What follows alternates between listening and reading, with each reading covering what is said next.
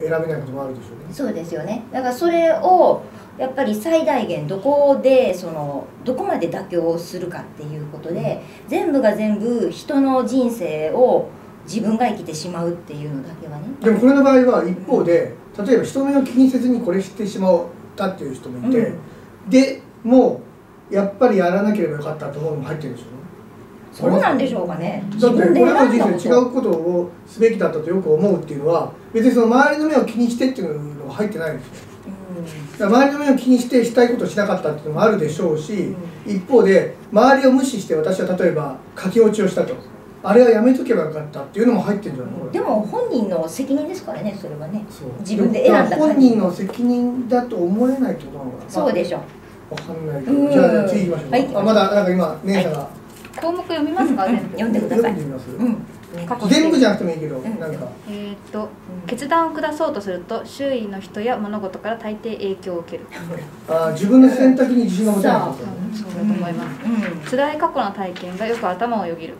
あーうん。これをして失敗した、う。ん。同じようになったらどうしよ若い頃に見た不快な光景が脳裏に焼き付いている若い頃に見た不快な光景なんだろう。何ですかねなんか新幹線でトイレを開けたら人が入ってたみたいな。ようそこまで世代じゃなくてないとよく思い出す。うん。はいごめんなさい、はい過去に起こった悪いことについて考える。うん。悪いことも考えちゃうの、うんこれまでの人生で体験する機会を逃してしまった良いことについて考えるそれはさっきみこりさん言ったことに近いかもしれないですねそうですねうん。そしてっていう感じそう。大体同じで大体こんな感じです。面白いねそのチェックリスト。うそうです。ねん。チェックリストを見るとなんかわかりますね。う、ん。その方がいいかうん。もまあいいや。でそうですね。でこの過去否定型っていうのはまあ良くないんですよ。うん。どうなんか良くないんですよ。よくないと思う。だからその過去否定型のこの考え方を変えるっていううん。のが、まあ後から出てくるんです、うん。おおそれいいですね。でじゃあ次いきますとりあえずで次現在快楽型。はい。で現在快楽型はあこれも読んだ方がいいですかね、うんうんチェックリスト。チェックリストの方が分かりやすいかも。とじゃあいきますね。うん。友達とパーティーに出かけるのは人生の重要な楽しみな一つだ。うんそうですね、うんうんつい衝動に駆られて行動してしまう。うんうんうん。好きな音楽を聴いてると時を経つのが忘れてしまう。好きな曲？うん。好きな音楽。です、うん人生を精一杯生きたい。一日一日を充実させたい。うんで毎日を人生の最後の日であるかのように生きたい。うん。思いつきで決断を下すことがある。あとは、うん。時間通りに仕事を終えるより今していることを楽しみたい。一緒に組みたくないなその人と。ちょっと危なっかしいですねちょっとね。まあいいやうん。それ。でうん。危険を冒すからこそ人生は退屈せずに済む。うん。目的地に到達するよりも人生という旅を楽しみたい。付き合ったらいけない男そうですよね。あそうなんかこう思いました読んでで人生に刺激をもたらすためなら多少のリスクはいとわない。うん。ふわふわ女子に当てはまりますね。理性よりも本能に従って行動することが多い。ここでこれだけ否定して否定してしまうと 後でそれ私ですって言いにくくなってくるね。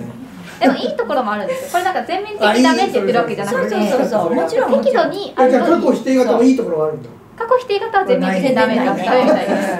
うん そうであとは一瞬の興奮に流さ押し流されてしまう時がある、うん。うん。あるようだねうん。行動の予測がつく友人よりのびのびと振る舞う友人の方が好き、まあ、こんな感じです。好きな女性もいそうだな。うん。そうなんか博士がよく言う今井男みたいな。そう今生きてそうなんかそうですね全くそれ。でも本人楽しそうだよね。そうなんですよね。あそう書いてありました、うん。なんかエネルギーがすごいからやっぱ周りにいる人はその人と一緒に楽しいと思う、うん。そううん。確かにそれはただ長期的に付き合ったら大変だうんそうですね、で次が現在宿命論型。うん。これもなんか全面的にダメって言われたやつで、うん。そうね。あそうやね。宿命はね運命は変えれるからね。ああそういうことねでじゃあ読みますね。人生は往々にして運命に左右される。どうせなるようになしかならないのだから何をしたところで大して変わらない。うん。目標や結果について考えると何をしていてもつまらなくなる。物事は大きく変化するのだから将来の計画など立てられない人生は自分ではどうすることもできない力に支配されている。未来のことを心配しても仕方がない。現在の生活はあまりにも複雑だ。過去のもっとシンプルな生活の方がいい。あれ？ちょっとこれ。シンプルなこ。で時間は今日の快楽のために使ってしまうより明日の安全のために取っておきたい。早く眠りたいみたいな勤勉より幸運がものを言う。うんえ？それおかしくない？あ勤勉より幸運。おかしくないそれ。未来が決まってるのに幸運とか言っちゃってるよ。いやだから運だけでいいっていうことでしょ？あれ？未来論者は。えーっとミントさんが。今ねあ上にピンポンってやったのか博士靴枯れているなはい。大丈夫ですか 大丈夫です。今あのみどりさんが急にそれ不安定なんですよね。僕なんか今2つだけで座ってますよあんまより不安定にして楽しむんですよそれでバー。ンとかってこけないでねあ博士そして2分後みたいな博士が急にいなくなったあでもこの辺から病院ありますもんね あー。次これあじゃあ、えー、と現代現在宿命論型はでもラッキーっていうのかな？あなんて未来の幸運ってなんかたまたま起きることのような印象があるのでなんだろう。それってみ宿命じゃないじゃんと思っちゃう。なんかここに出てくる例だと、こう自分人生は自分ではどうしようもない力にコントロールされているっていう、なんか一種の無力感みたいなのを持ってる人っていう風に書かれてキリスト教とかそうじゃないの？そうなんか宗教は結構関連するみたいな。全てが決まってる。なんかなんかあのなんだっけえっ、とイスラム教とかで、えっ、とアーシュラとかラーシュラとか言うじゃん、全ては神の御心のままだインシャラ。それってね要は神様が全部決めてるんで何しても一緒ですっていう。そうそんなそれってでも一一方で楽だけどね。あそうなんですよね。それも書かれてました。それも書いてある。書かれてました。だまあいいや。からごめんなさいそうなんか犯罪が蔓延する地域に暮らし薬物や窃盗に走るギャングに加わったりするなどの若者の間にはいこう蔓延しやすい考ああえどうせもう未来は決まってんだからあそうさです。だからうん。あんまりあの閉塞的な社会にこういう感じになりそうですよね。確かにそう。ねあの氷河期って言われたような頃の若者たち。未来がこういい未来が描けない人がうん陥りやすい。そう。私たちの頃ってこうバブルのね、えーまあ、前世の頃だったのでその頃の若者たち多分夢が確かに運命があったでしょと思わないうん。でもやっぱりその社会的な閉塞感。コートの影響を受けるんですね。うん。ね。でも本当そうでしょ？そんななんか感じ現在をちゃんと安定した現在がないと、こうか未来が描けないからこういうふうになってしまう。なりがちだうん。なりがちだろうね時代背景もありますよね江戸時代とかねうん。いやだから農民がその絶対通さないあーそうそういや今ちょうどあの大河ドラマのそっかそっか。なんだっけ？せセゴドンでしたっけ？セゴド見てるから、そうですね。明治になってからでもまあありましたもんね、はい。うん。いくら頑張ってもその様にはね。ですねで次が超越未来型。あれこの未来型については話あみあ未未来型。飛ばしちゃいました。未来型です。未来型ね。はい。じゃあ読みますね。ここですね。はい。毎朝あらかじめけ計画を立ててから一日を始めるべきだ。物事が時間通りに行われなくても別に構わない。あこれは低い方がいいみたいです。もう一回言って物事が時間通りに行われなくても別に構わないつまり物事がが時間通りに行われないと嫌だそれが未来型そういうべきとかっていう人でねすべきとかね。何かを達成しようと思ったら目標を立てその目標を達成するにはどうすればいいか考え方法を考える。うん。で約束の時間に遅れそうになると慌てる。うん。友人とじゃない人がいるんだよね。私は慌れてないですね。あそうなんです OK それで 友人との約束を守り期日や期限をきちんと守る。あれ私結構これだな。ううんんあらかじめ計画を立てて毎日を過ごすのではなく行き当たりばったりに過ごすのが嫌。いやあ嫌なんだ。嫌な方ですこれは。はで利益と費用をよく考慮してから決断を下す。うん。着実に前進し計画を思い実行通りにあ時間通りに実行する。あそれは。この人は人に厳しそうだな。うん。私そう。あでも人には厳しい。素晴らしいじゃん自分だけ超越未来型ですか？け結構結構ねこのうん。未来型ですよ。僕もそうだよね。うん。でも人には。しない。うん。あの自分ルールなので。バランス取れてるなう。ん。人には。自分のルールは。うしなければならないことのリストを作る。ん。うん。自分には責任があると自覚しうん。誘惑に抵抗できる。そ自分が成長できるのなら困難で面白みのない仕事も続けられる、うん。仕事の遅れそれはあはのググリッドっていう本のう、うん、ね、できるな私。グリッドっていう本が知ってます、知らんあ聞いたことあります。グリッドっていう本をまああの上鶴さんが以前紹介してくれて読んだん。ですビットはが、私じゃない。はいすいません。あそういうことでいやそういう本がありますよって言ってくれませんでしあありますありまた。す。ありますよって言ってくれたこと最初に。うん。まだよよくない。です。うん。そうやり抜く力、うん。まあまあそういう本があって、あの成功してる人は才能じゃないんだと。うんこういう退屈なことをし続けられる力とか、うんそういったものがうん。備わってる人が超一流なんだっていうグリッドっていうのが出てて、それが未来型っぽいですね。だから得るものが多いっていうかね。そう思うな私も。でも一方ですごくなんかまあニコリさんが私です私ですとか言っちゃったからすごい否定しにくくいやいなってきたけや否定してくど。ださい、あでもこれを人な。に当てはめちゃうと人には当てはめなくていいんだけど、うん。自分生き方として幸せ感としてなんかなんだろう、うん、辛いもうちょっと快楽が欲しいなっていう。達成感っていうものが快楽になあ分かる。るのでそれもそうなんですよね。うん。分かる分かる、うん。あのなんていうかそのえっと、えーと幸福の幸福の第一人者誰でしたっけ？幸福マーティン。セグリマン。セグリマン、うんマーティン・セグリマンでしたっけ、うん。そう。のうん。新しい本なんでしたっけ？うっていう本があって、うん。そこでその幸福の定義の中の一つに、んうんそう達成した時の快快感っていうのがあっ達成て感ですそれいくら辛くても達成した時に快感であれば、うん。それは一つの幸福であると、だ例えば山登りする人とかマラソンランナーもそうですよね、走ってるだけで何が楽しいのって思うんだけどもやっぱりゴールした後のその達成感とか、なんか最近あの、ある飲み会で、えー、と経営者の人が言ってたんですけど、うん。経営者って結構うんとアイアンレースとか、うんなんだっけあそうですね。あとマラソンとかやる人が多いと、うんそれはなんかやればやっただけ結果が出るっていう、経営ってそうじゃないんだと。まあそういうそう、まあ、結果が出てるかもしれないけど、うんまあでそうするとこう辛くても結果が出る方に走る、うんそれが快感だからっていうね、うんだからそれも快感なんですよね、うんそれが未来未来型っぽいですね。なるほど。ぽいですね。うん。この快感しか知らないってこともあるかもねうんだから未来型は適度に高い方がいいみたいです、うん。なんかあんまり高すぎるとこうなんかストレスがちょっと辛いし、うん。ほぼないです出た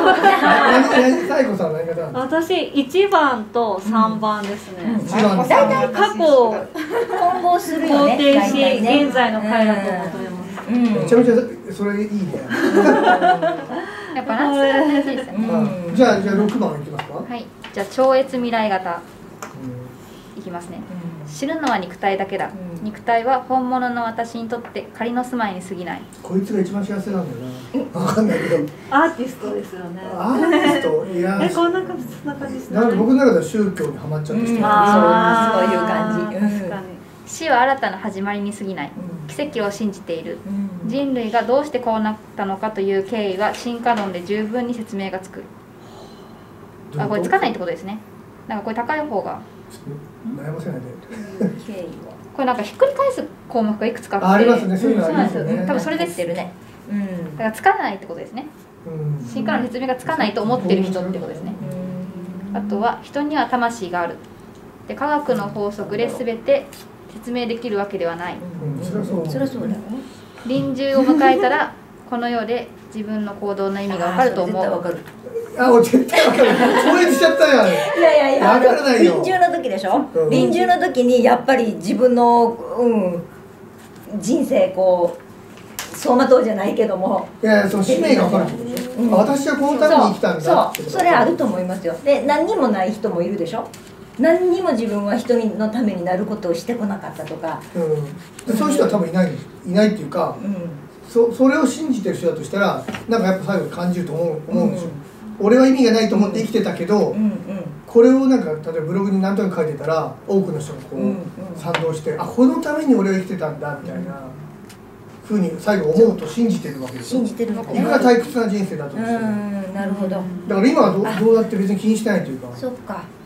であごめんなさい超越の、うんあのまだあいきますね。うん。人には生きるべき神の掟がある。うん霊魂の存在を信じている。うん。それは信じてるっていう感じで。結構スピ系ですよねそうですね。ね。なんかこの世で期待できないからうん。このこうなんていうんですかね。こう未来を未来型っていうのは今生きてるその未来。あ自分のそう命があるあの次の未来うん。ででもなんか次の世代だなんかなんか魂が永遠にあると思ってるからうんうん。ずっと続くんです死んでも。あなるほど。そその先を考えてる人。だから今あの例えばちょっとこうなんか内戦とかの地域に住んでて、うん。今はうん現世はうん。ちょっと期待できないけど、うん。でもこれあの苦労すれば来世にいいことがあると思ってる人たち。輪廻転生っていう。うんうん。なんかあの昔 NHK スペシャルであのミャンマーにいる80歳ぐらいの老人がずっとこうもうもう腰が曲がってすっこななりながら道路をすごいあのうん。綺麗にしてるんですよ。でインインタビューしたらこうやっていいことを行いすると次のなんていうかなえ次の来世ね、えーよいいところに生まれ変わるからだとか言って仏教的ずーなっとあの人からままでやってるんですよ、超辛そうだったあの仏教の生き方がそうですよね。うんあのいいことを施していけば。あそうね仏教のね。その、うん輪廻転生のそう。うんそうですそんな感じこれです辛いな超越未来、うん、でも穴があると死死が近づいてくるとちょっといいんだよな、うん。そう思えたらいいなと思うけど。でそして？そうですね。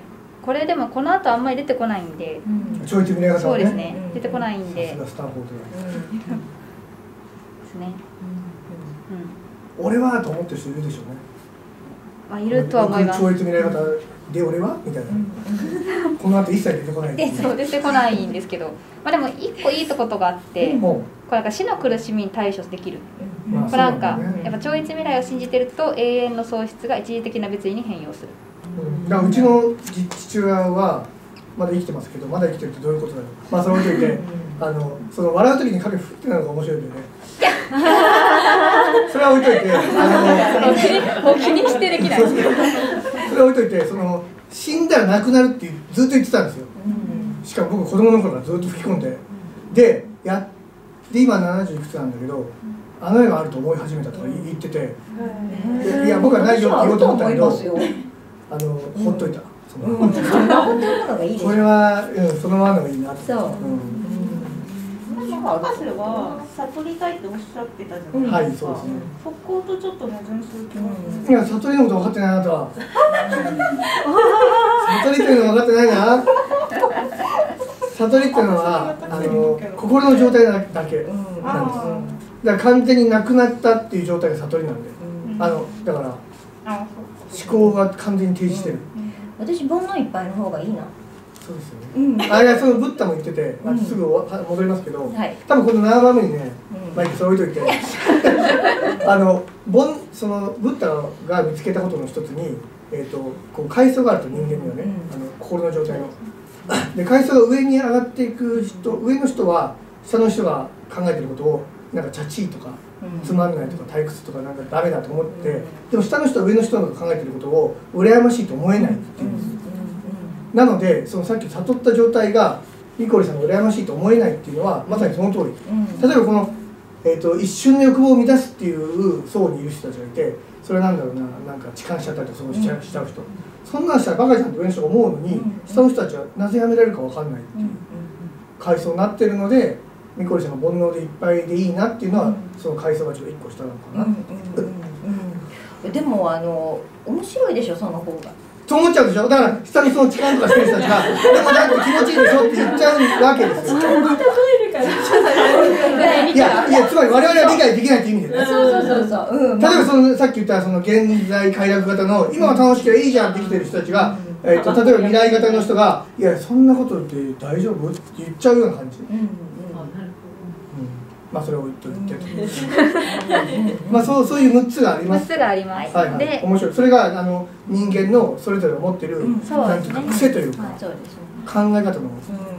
うん。でこの傾向っていうのはこうこうなんかあらゆるタイプの特徴がまあ大中多かれ少なかれ私たちは持っていて、うん。でそうか。うん。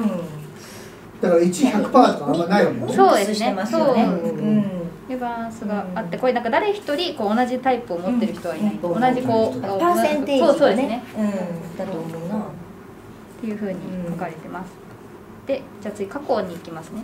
でこうなんか過去未来過去現在未来っていう形でこの本ちょっと進んでるんで、うんいいね時間。うんそうですね、でなんか過去についてまず説明していきますね。うん。でこの過去っていう章で何を言ってるかっていうとこう記憶はその本当になきゃなんていうのかな。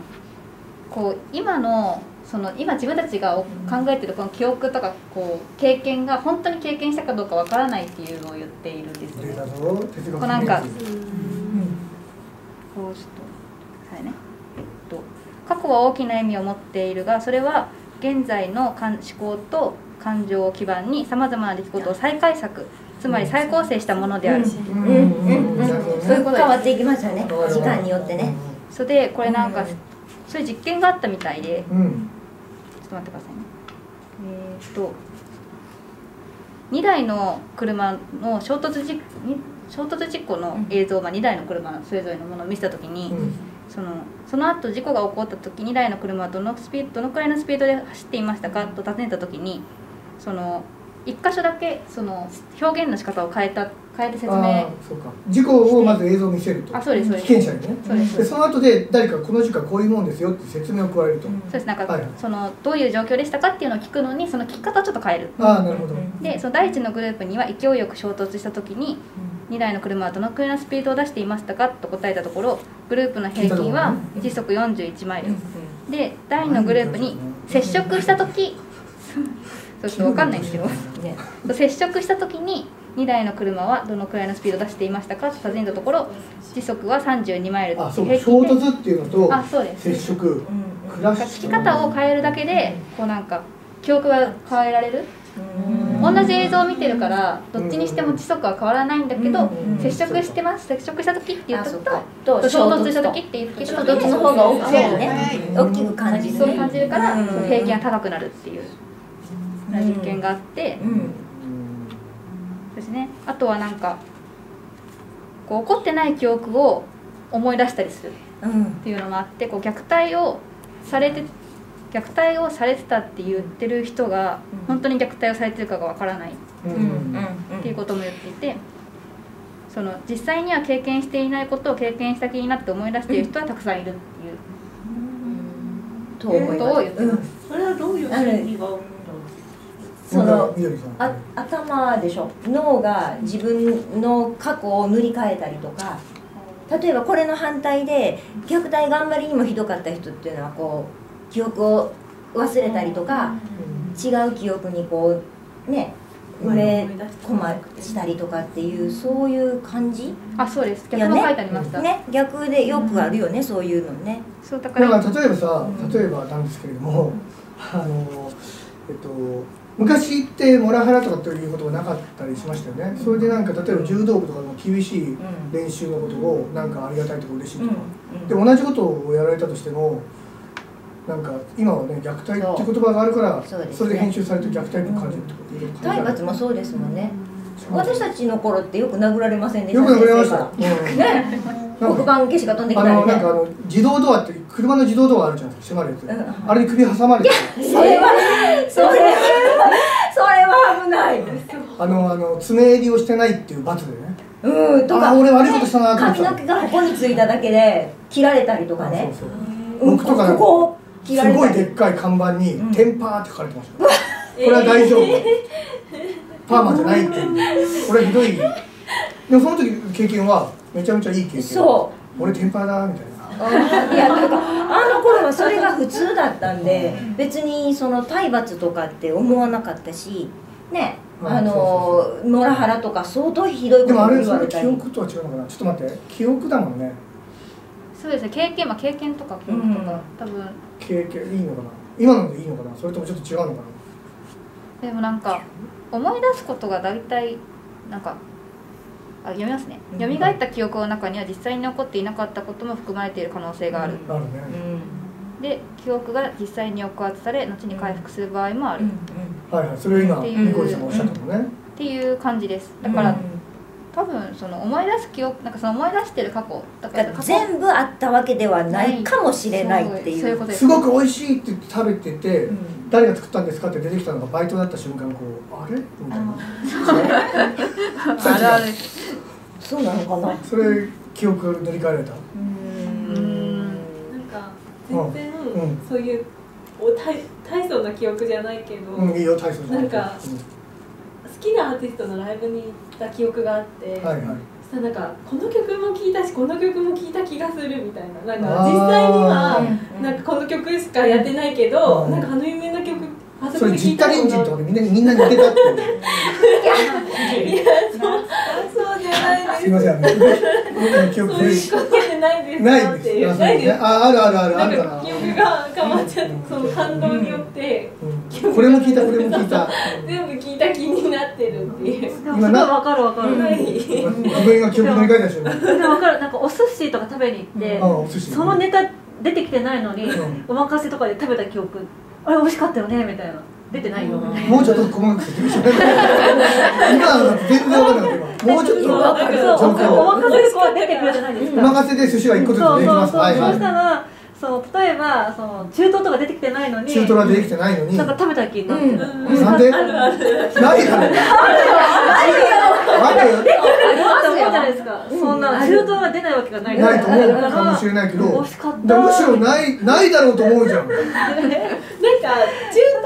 ロを食べたっていうことにフォーカスしてるんじゃなくてそのお店でお寿司を食べたってことにフォーカスしててじゃあ初めか全部食べたらあんまり注意してなかったってことじゃないうん違うそう。なのかそうじゃないです。そうだねおーちょっと今その二人の話を共感されたい。ですそうなんか自分の中でそう勝手に作っうん作り出しちゃってる時があるかも。なんだろう。で勝手に感動してる。まあでも記憶が適当だっていうのは分かる。そうですね。そうそうそうそう。だからでそうすると例えば現実検討能力のない女性でちょっと待って現実検討にああそうですね。あの難しい早くでいやげ現実でいや現実検討能力って特殊な言葉だからでも説明するとあのこの世界で起きてることを、えっと、ちゃんと客観的に見積もれてるかどうかの能力のことを言うんですよ。でもともとその、えー統合失調症とかに、えっとあ専門の言葉専門用語なんですよ。知らなかった。そうなんだ、はい、だからそういうなんかこう適当に喋ってる、あだからなんだろう。私は、えー、とあ例えば雨が降っててそれ本当にそのある統合失調症の本に書いてあったんだけど自分がおしっこしてると、これを関連付けちゃう人がいるんですよ。私のせいで雨が降ってるみたいな。それは現実検討能力が低いっていうんです、例えば恋愛だと、はい。そのね目があったからあの人私のこと好きなんだとかっていうのが客観的に見て全然そんなねただ単に目があっただけなのにあの人はずっと私の同こと僚のね A さんと B さんが話してると私を嫉妬させるためにしてるんだと。かね、そううんうん。そういう感じのそれ現実検討。さらに過去を塗り替えるだとただご飯を食べに行っただけなのにお互いちょっと気が合った感じでご飯食べにそう行ったみたいなことを言そう。って相談見ますよねそれなのかなと思って自分の中では付き合ってることになっている、うん、まだ 会ったこともないねあの婚活相手みたいな、でもそれだと現実検討能力の場合は今まさに起きていることをうん。うんどうはあの判断するかなんです、うんで、まあ、それにさっき記憶が加わるとってう西郷さんがおっしゃったように、そそでもそそれと違いますよねちょっうん。とだからつまりその起きたことをどうさ後で記憶を蘇らせるかって話と今起きてることをどう思うかっていう。そう。そのずれるっていう癖を、うん思考の癖がある人は、うん。現実もずれてるし過去を思い返す時でもずれてる。それはある。それはその傾向はあるとうん。思う。うんうんそろそろなんか質問ありません？皆さん。なんかそうなんかあります？アリスさんあります？か えアリスさんはこの中だとどれに選ばれるお恐ろしい質問が超超願い方え まさかの。えー、いやそれだったら本当に何も言わない。えー、どうだろうでもなんかつい衝動に駆られて行動してしまう時がちょっとある、それは恋愛とかそういう特殊な状況じゃなくても全部で。あじゃなくてもなんかうん。例えばそのなんだろう。なんかここっちに道？でこっち行こうかなと普通の道はこうだけどちょっと違う道歩いてみよ。うそれはいいことですよ。それはいいそれぐらいいい そそれねコンビニで、えっと、おにぎり買おうと思ったけどちょっと勇気を出して150おにぎりしたとかそういう話です。それはそういうことじゃない。そのレベルだったらあるよ。私これやっぱり年齢的にもあります